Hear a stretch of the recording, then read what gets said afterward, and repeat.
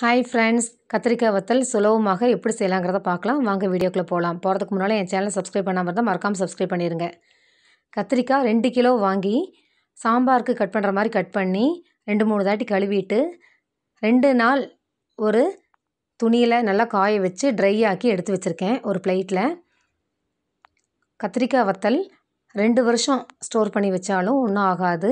புளிக்குழம்பு செய்யும்போது இந்த வத்தல் போட்டு ஈஸியாக கத்திரிக்காய் புளிக்குழம்பு செஞ்சுக்கலாம். சாம்பார் சாத்துக்கு தயிர் சாத்துக்கு சாப்பிட்றதுக்கு அருமையாக இருக்கும். பெரிய லெமன் சைஸ் அளவு புளி எடுத்து கரைச்சி ஒரு பாத்திரத்தில் விட்டு மஞ்சத்தூள் அரை ஸ்பூன் ரெண்டு ஸ்பூன் சால்ட் உப்பு ரெண்டு ஸ்பூன் மிளகாய்த்தூள் சேர்த்து அடுப்பை மீடியம் ஃப்ளேமில் வச்சு ஒரு பத்து நிமிஷம் நல்லா புளி தண்ணியை கொதிக்க வச்சுக்கலாம்.